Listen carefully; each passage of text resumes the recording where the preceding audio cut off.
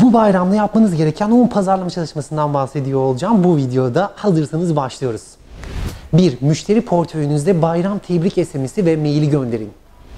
Datanızda kayıtlı olan müşteri listenizde onların ad ve soyadlarını özellikle kullanarak bayram tebrik mesajları gönderebilirsiniz.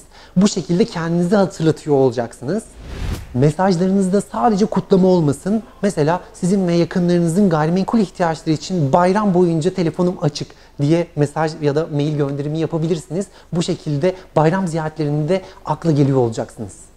İkinci konumuz bir gün önceden kutlayın. Müşterilerinizin bayramını bir gün önceden kutlamanız daha verimli olmasını sağlıyor olacaktır. Çoğumuz bayram sabahı mesaj yağmuruna tutuluruz. Bu yağmurda olmamalısınız. Sabah çok erken ya da akşam geç saatlerde mesaj göndermemelisiniz. Üçüncü konumuz WhatsApp toplu mesajları göndermeyin.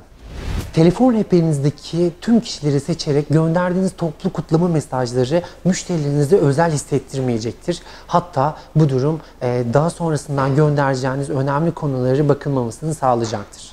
Dördüncü konu, sosyal medyada kutlama yapın. Sosyal medya profillerinizde kendinize özel, üzerinde fotoğraf ve iletişim bilgilerinizin olduğu kutlama mesajları hazırlayabilirsiniz ve bunları paylaşım yapabilirsiniz profillerinizde. Aynı zamanda sıradan olmamalısınız. Daha çok eğlenceli, daha çok ne iş yaptığınızı hatırlatan görseller paylaşımında bulunabilirsiniz. Beşinci konu, video çekin ve paylaşın. Telefonunuzdan da olsa mutlaka bir video çekin. Bu videoda da sadece kutlama mesajı olmasın, yaratıcı olun. Mesela bir dahaki bayram yeni evinizde olmak istiyorsanız beni arayın. Ya da bir bayram daha geçiyor. Yoksa siz hala evinizi satamadınız mı? Şeklinde çağrılarınız olabilir. Altıncı konu, mülk sahibi müşterinize özel çalışma hazırlayın. Gayrimenkul sahibi müşterilerinize onlara mülki için bayram pazarlama paketi oluşturduğunu söyleyin. Fark yaratın. Bayramlarda insanlar daha fazla sosyal medyada oluyorlar ve daha fazla dijitalden aramalar gerçekleştirebiliyorlar. Gayrimenkul ihtiyaçları için dijitalde bayramda olmamız daha fazla sonuçlar almamız demek olabiliyor. Bu yüzden e, bazı seçtiğiniz portföyleriniz için günde sadece 50 lira harcayarak sosyal medyada mesela potansiyel başvuru reklamı çıkabilirsiniz. Evet çıkabilirsiniz.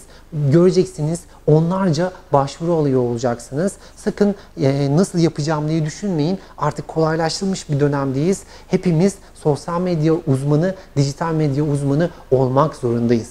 Yedinci konu yakınlarınızdan data toplayın. Bayram ziyaretlerine gittiğinizde mutlaka sizlere yakınlarınız ya da tanıdıklarınız işleriniz nasıl gidiyor diye soru soracak. Hatta bunu herkes soruyor olacak size. Konu işten açılmışken onlara yakınlarınızda gayrimenkul alımı, satımı ya da kiralaması ihtiyacı olan tanıdıkları ya da yeni tanıştıkları birileri var mı diye sorun. Ve bunların datalarını, iletişim bilgilerini hemen o an alın. Bu yöntem sizin müşteri portföyünüzü genişletiyor olacak. 8. konu portföy ve müşteri paylaşımları yapın. Mutlaka onlar ya da onların tanıdıkları size referral yapabileceğiniz bilgiler verecektir ve bu bilgiler size sistemde para kazanmanızı sağlıyor olacak. Dokuzuncu konu, maviye davet edin. Gayrimenkul işinde başarılı olabilecek yakınlarınızı ofisinize davet edin. Şu an hazırda olan bir işleri olabilir. Evet, onlara gayrimenkul sektörünün her aşamasındaki potansiyelinden bahsedin. Onları maviye davet edin, mavinin gücünü ve enerjisini onlara bulaştırın. 10. konu, Coldwell Banker ofisi açabilecek girişimcileri bize yönlendirin.